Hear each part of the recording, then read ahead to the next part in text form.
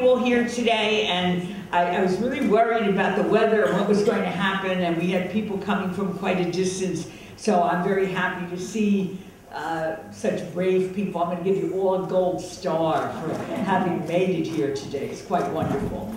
And um, I'm going to say, I have to say a couple of things. One, uh, that all the programs of the Poetry Center and all the other programs that we run, the Theater and Poetry Project, the Passaic County Cultural and Heritage Council, uh, the art galleries, and all the cultural programs that we run are all made possible by grants from the New Jersey State Council on the Arts, the National Endowment for the Arts, and um, private donations from individual people.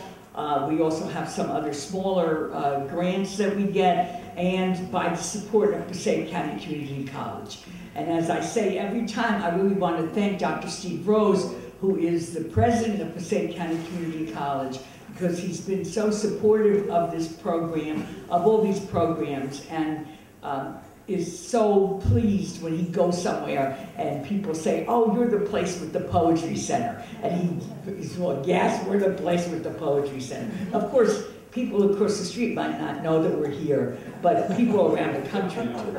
Uh, anyway, uh, so we couldn't do any of this without funding and without people becoming members of the Poetry Center, giving us donations and that kind of thing. Grant money, of course, is, is always drying up, but uh, we've managed to keep going. And one thing that happens when you grow up without any money is you know how to stretch a penny until it screams bloody murder. So uh, that's the one advantage of having grown up without any money. And a lot of other advantages too. You never give up. Anyway, um, we, I started this contest probably in 1977, but we didn't call it the Allen Ginsberg contest until 1988. And, um, and that's after Allen came here a number of times and was very supportive of the Poetry Center. And I decided that he should have some recognition for his connection to the city and the fact that he grew up here. We went to the same high school, Eastside High School. And so I wanted to do something to honor him and his contribution to American literature, which I think is a very great contribution to American literature. Uh, so I had to ask whether I could name the contest after him, and he was very he was very pleased to have that happen, considering that about 10 years before, uh, the mayor had him escort, escorted out of town and threatened to arrest him because he said at a reading that he had smoked grass at the falls. And so at first he didn't want to come back here to read, but then I talked him into it. And then he came back quite a few times and participated in the programs, and it was wonderful. He was, he was a wonderful person. Anyway, today I'm pleased to welcome all the winners of the Allen Ginsberg Awards, and I will say that we get about 2,000 entries uh, to this award, and we have four ju judges, and all the judges have to agree. So we made a rule to start with all the judges have to agree on the winners of the poem. So um, if you won or your honorable mention, and the distance between the winners and the honorable mention is never that huge because people are fighting who should get first prize, who should get second prize, and that sort of thing. But um, I, I always am happy when I hear the poems that are selected and realize how, how much wonderful poetry there is in the world and how great it is to encourage that poetry. So today we're going to start with uh, one of our first prize winners, and that's Linda Cronin. And Linda is a poet, editor, and freelance writer. Dream Bones, Bones from Word, Word Tech Editions is her first published collection of poems. She tied for first place in the 2014 Allen Ginsberg Poetry Contest. Her work has appeared in literary magazines such as the Paterson Literary Review, Word Gathering, the Jersey of New Jersey Poets, Rattle, and Lives. Let's welcome Linda Cronin.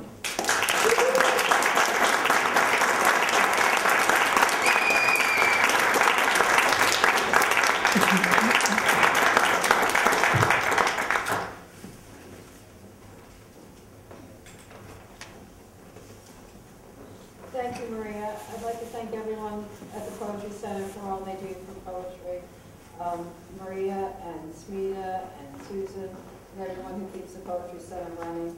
It's really made a difference to me and the rest of the poets are here. Um, I'm very honored to have won today, and I congratulate my fellow winners, they're all the poets here, and it's honored to share this prize with Linda Hillringhouse. My poem is called Because It's Mine. There are days when I look in the mirror and I hate what I see. This clunker, this misshapen body that fails me time and again. My face with its chipmunk cheeks and moon shape looms over a neck that refuses to hold my head up high. My arms and legs that lack the muscle strength to get out of bed, to dress myself and brush my hair, to climb the stairs. The joints twisted and knotted, the hollow bones crumbling beneath the pressure of gravity beneath my gaze. I remember my fear when I woke from my last spine surgery, unable to move, the respirator swallowing my pleas. You held my hand and coaxed me through the terror. I fear there will come a day when my body won't be strong enough to keep fighting, when I won't wake up. But you tell me you see something I don't. Love this body I hate. Love my skin soft as feathers, my eyes the warm brown of chestnuts. You tell me you see a woman with courage, a body that fights its way through each day. You tell me you love this body because it's mine. There are days when I need to believe I am beautiful as my hands weaken and drop forkfuls of spaghetti on my lap, as my lungs, legs stumble, transferring me to a chair. On those days, I need to learn to love my body just because it tries, just because you do.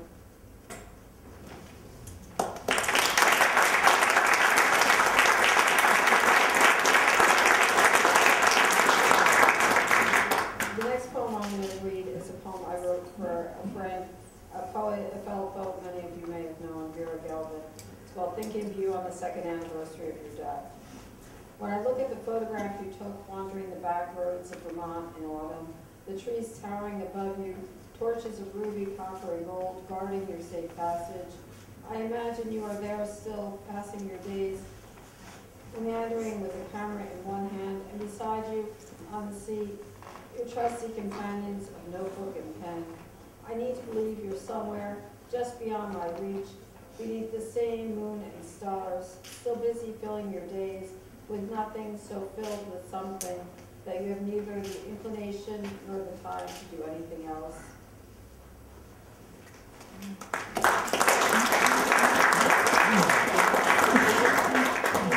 The next poem is called The Search for Beauty. For a time, I found beauty one stitched piece at a time, counting cross-stitch, hardanger, embroidery, and needlework. I tried them all, and each one had its place.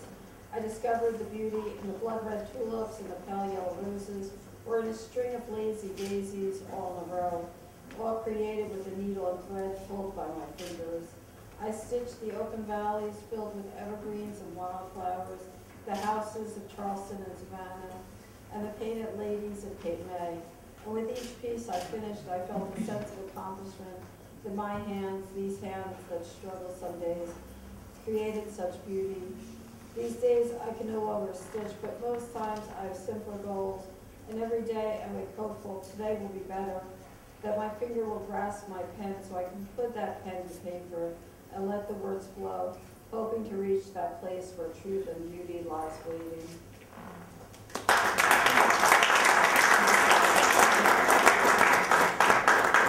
I think we'll hear a lot of poems similar to this one about a character we remember from our childhood.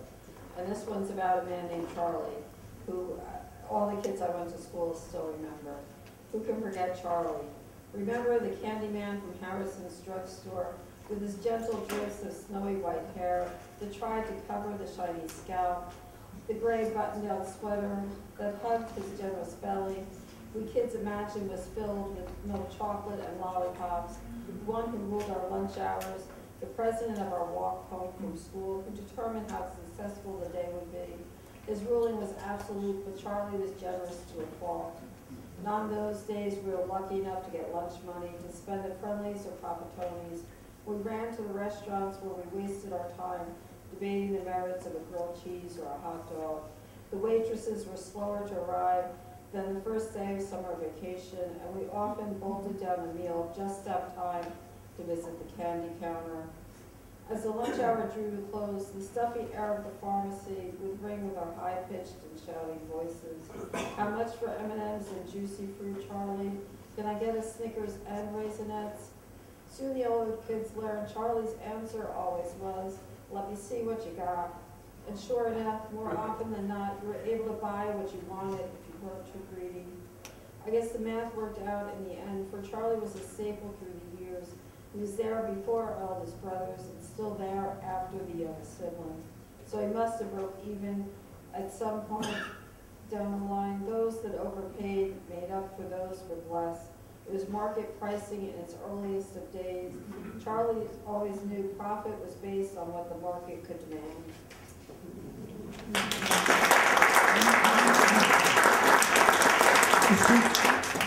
In my first book, I had a poem called uh, Jersey Girl, and I recently um, began thinking about what a real Jersey girl was. And that's this, this is my last poem, The Real Jersey Girl. I am Jersey born and bred through and through. I made these highways and back roads my own by driving the miles, walking the land, picnicking under its watchful skies. From the beaches of Cape May to the cliffs of the Hudson and the towering hills and fields surrounding High Point. But if you ask someone from Idaho or Montana, where winter lasts forever, or Arizona or New Mexico, where the ungodly heat is supposedly okay because it's dry, those places we in Jersey don't believe anyone can willingly choose to live, I am not what they imagine.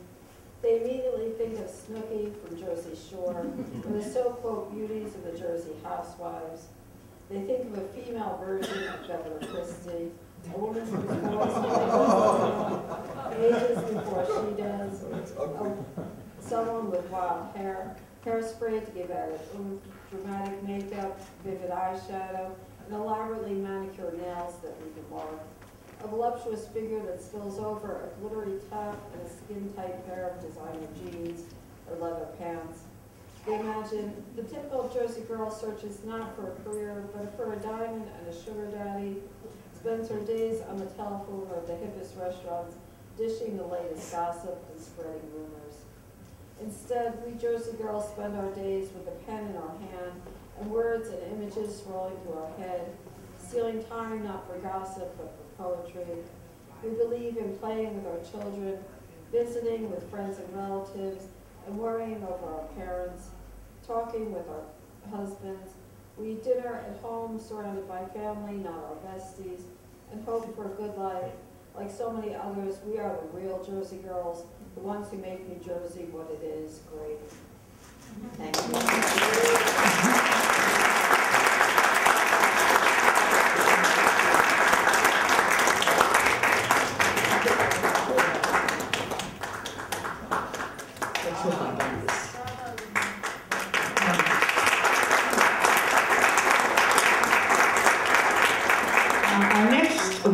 First place winner is Linda Hillringhouse. Linda is a poet and a painter. She received the Pablo Neruda, Neruda Prize for Poetry 2012, second place, and the Allen Ginsberg Poetry Award 2014 shared first place. A self-taught artist, she has shown her work at the Newark Museum, the Paterson Museum, and the Yale School of Art, among other venues. If you don't know Linda Hillringhouse's paintings, you must know Linda Hillringhouse's paintings. And in fact, her paintings are on the cover of two of my books out there, but she is an amazing artist as well as an amazing poet. Let's welcome Linda Hillringhouse.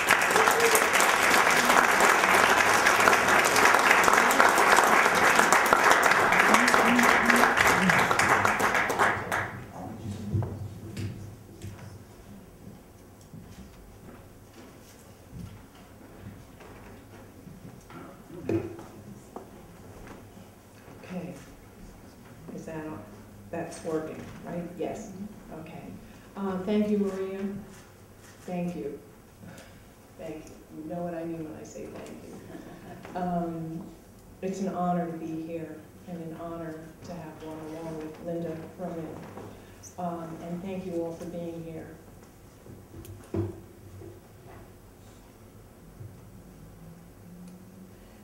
The Bristol Plaza Hotel, Wildwood. From the fifth floor balcony of the Bristol Plaza Hotel, I watch families on the boardwalk, parents in flip-flops and tank tops, kids on invisible leashes running up and down the steps to the sand in that delirium of summer when memory and history have just begun. And what would it have been like to have had children? To unpack bathing caps and board games, cough syrup and calamine, to wrap bologna sandwiches in waxed paper, and buy peaches from the produce truck parked on the street between the hotel and the dunes.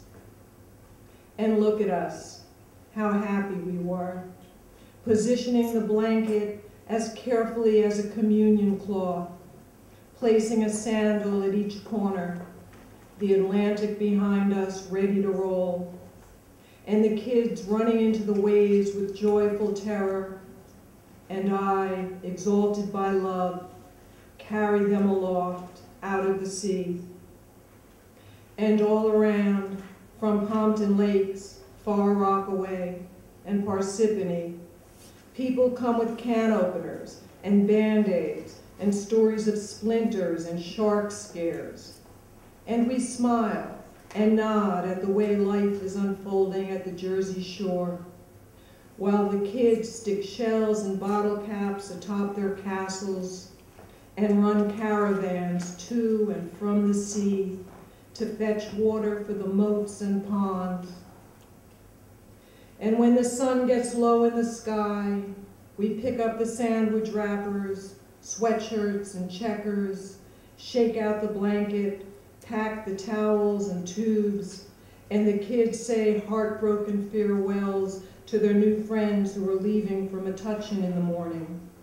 Then we trek to the shower at the bottom of the bleached cedar steps and wash the sand from our feet as the sea behind us stops swirling. And when it's nearly dark and the moon up over the Ferris wheel is almost too big for the eye to bear. We go to the boardwalk and take our place among the generations, and I hold the hands of my children and lead them to the ring toss and skee ball and to the mechanical claw that descends in somnolence from the ceiling of the glass tank to hover above the hill of trinkets and the arthritic metal fingers open and grab onto a rubber spider, a skull ring, or a capsule containing a pink plastic seahorse. And the claw lifts the prize as if it were Venetian glass and drops it down the chute into the frantic hands of my children who plead for more tokens while the life-size gypsy turbaned and bejeweled, watches and malice from her lacquered ticket booth. And I lift my kids up onto the carousel horses where they sit enraptured by the leather reins and the lunatic eye of the horse looking backwards. And I live to glimpse their faces and fluorescent hair as they ride by rising and falling to the old world band organ. And I will not be dreaming this or thinking the way I always think, in dark conjecture.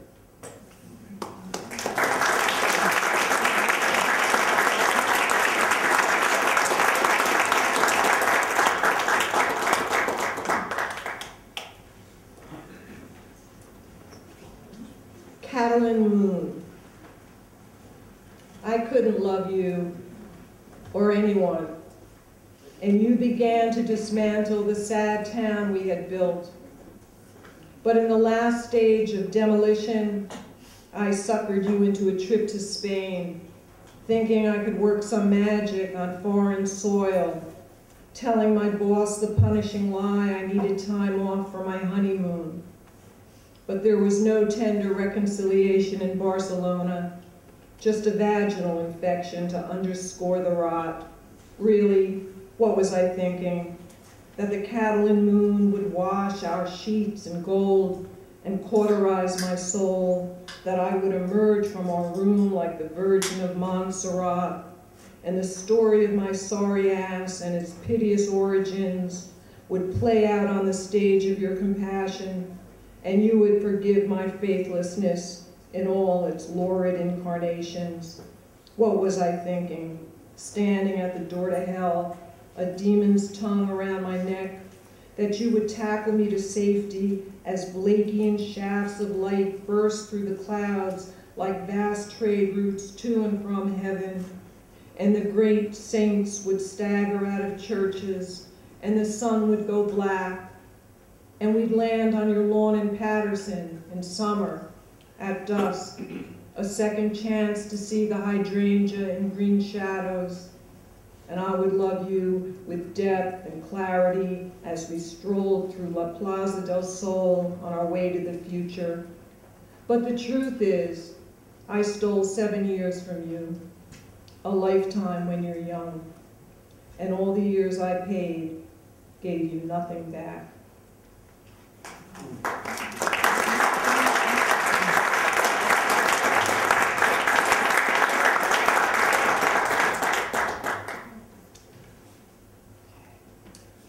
The nosebleed. Little uncle, remember me in my bed? My nose packed with gauze strips, wet washcloth over my face like a savage veil. Can you see me from far away, from nowhere, lying there, silent as snow? Steadfast soldier in the family army, immobilized in my pilled yellow pajamas with the dancing ponies, your practiced hand, the drafty room, the smell of ruin.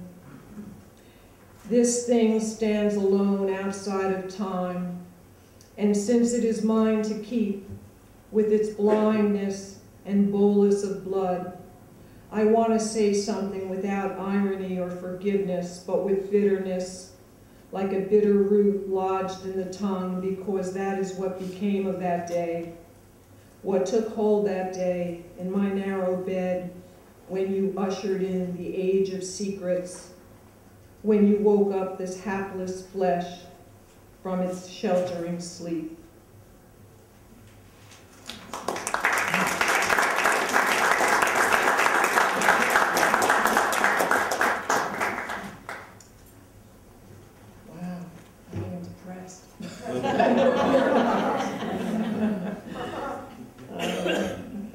witness. It's funny how natural it is. Like I'd bucking and shaking and holding on to the safety rail while an aide wipes her ass. It's no big thing now, the way her toenails look like ancient teeth and her hands like two sick jellyfish floating around her torso like her arms and legs had never looked like anything but purple tentacles, as if she were beginning to turn inside out, the skeleton pushing aside muscle and artery. It's business as usual now, wheeling her to the dining room as she tries to propel herself from the chair with her last ounce of strength. She is not going gentle into that shitty night and I'm proud of how she fires off no, her last defense against disappearing. But when I walk in as the aide is undressing her, her right breast is a testament to all that was given and to all that was lost, and the scar tissue on the left, a searing indictment of a careless God.